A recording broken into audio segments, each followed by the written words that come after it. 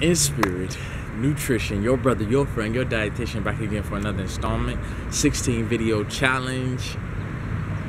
House hacking, how to hack your house into stack.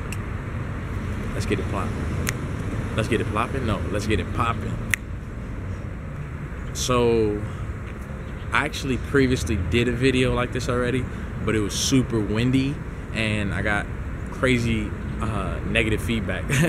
but negative feedback is really positive feedback because it lets you know what to do differently. So it's not windy today. It's really sunny and it's fall. So um, I'm gonna do another video for y'all. So house hacking, how you can hack your house and stack. There's different ways that you can house hack.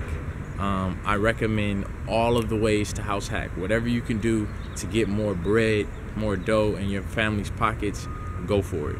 So the first way of house hacking is drum roll, drum roll please. Actually renting out or subletting your apartment. That's another way to house hack.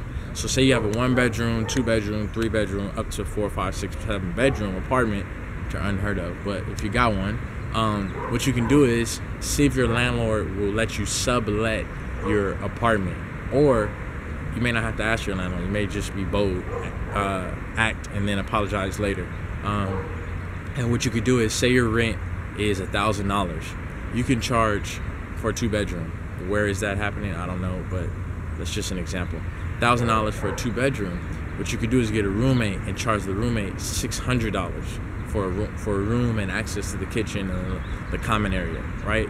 And uh, you know, shared bathroom. Uh, and now what you have is six hundred dollars for um, paying down the mortgage. That's six hundred dollars in your pocket. Um, and it's the same goes for if you have two bedroom, three bedroom, whatever. That's how you, you know it, it, the principles are the same. Um, another way of house uh, house hacking, if you don't have an apartment um, and you have a, let's say you do have an apartment, but um, the apartment next door to you opens up um, one way you could do it is get the lease on that next apartment. Uh, say it's another one bedroom, and if you're in a city with a lot of attractions, or if you're in a city, um, excuse me, if you're in a city that is like Los Angeles, for example, where a lot of tourists come, a lot of different people come and visit, what you can do is uh, rent out that whole apartment via Airbnb, and you can stack a lot of money using Airbnb. But with Airbnb, you have to be careful about the legal implications of that, and you have to check with your uh, local landlord and see if they'll. Sometimes they'll agree to the Airbnb usage, but they may charge you extra hundred dollars a month in, in uh, rent. So that's another way to hack and stack. Uh, next way to hack and stack is say you actually have a condo, a home, something you actually own. This is one of my sweetest and favorite ways of doing it because you have more control. In a rent situation, when you're renting an apartment, you don't have as much control, you don't have as much autonomy. But at a home, you're good. In home, what you can do is that, say you and your wife just bought a home, right? And it's a two or three bedroom, but you guys have extra space in the home because you have two and three bedrooms. What you can actually do is rent out the other two bedrooms um, to friends, to people that you find on roommates.com, uh, that you vet. You want to make sure you vet through these people that you meet because it could be some serial killers, it could be crazy ass people. You don't want, excuse my language, it could be crazy people. You don't want that to happen. So make sure you find someone that is reputable. They may it may be a college student, it may be someone who's fresh out of college and they just got their first job. They're trying to save money. Um, it could just be somebody who hit hard times, going through divorce. There's a thousand scenarios, but you want to vet them, check their credit score, make sure they're legitimate, but the criminal background uh, uh, record, things like that. Um, and you can actually get bread, money, moolah, dough, cheese, paper um, from that tenant and have them pay your mortgage. So if your mortgage is 1200 1500 2000 and you rent out two bedrooms for 500 each, for 600 each, you're looking at 1000 to 1200 For 700 each, you're looking at 1000 to $1,400 paying down your mortgage. So that's how you can stack. And, and that's how you can hack and stack. Another way of hacking and stacking is actually um, renting out your whole home and living uh, somewhere else, like on the couch. If you're a bachelor, you want to really go hard, you don't care about sleeping on the couch, get a bunch of guys, fill it up in there with like uh, college guys, or fill it up with uh, fresh out of college guys. You got a three bedroom home you just purchased, um, and you're a young cat. Sleep on the couch, man. Sleep on the couch. Put your stuff in the garage. Sleep on the couch. Put your stuff in the main. Oh, ladybug. Uh, sleep on the couch and, and put your stuff in the main closet in the house. And rent out all three three of your bedrooms. So say your mortgage is nine hundred or a thousand. You rent out each bedroom for five hundred. You got a profit of five hundred. Not only are they paying off your mortgage, you got five hundred in your pocket. So that's how you hack and stack.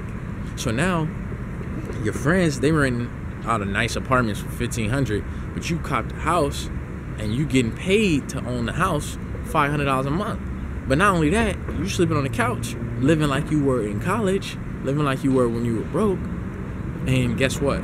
You still working. So now you got a thousand dollars that you're saving from not paying mortgage, right?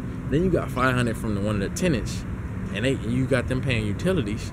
So now how you stacking? Now you got fifteen hundred plus every month while your friends that graduated from school they only got they they paying fifteen hundred. So you building equity, you doing you building uh, you know, you got tax write-offs. At the end of the year, you're looking at a good eighteen hundred. I mean, excuse me, eighteen thousand dollars stacked, and that's easy. That's not even you trying. That's not even you trying from money from your work, trying to budget and save.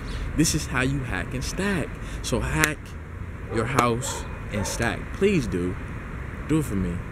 This video ain't loud, got the wind blowing and all that. So this video has the game, has the same information. Please utilize it. Uh, one last thing you could do is put your house on Airbnb if you got a house out here. And, well, I'm out in LA, but if you got a house in um, a high traffic area, you'd be surprised that a lot of tourists they'll come and see some local attractions in your area, even if you think your area is not like really um, attractive for tourists, there's some tourists that'll come to your area. So uh, you should think it over before you just say, oh, no tourists will come to my area. So um, you could try and rent out, like I said, the Airbnb, uh, rent, rent out your rooms via Airbnb. Uh, it's different options. Your brother, your friend, your dietitian back again for another installment. Inspirit, nutrition. Just trying to share the game with y'all. I'm just trying to get y'all game.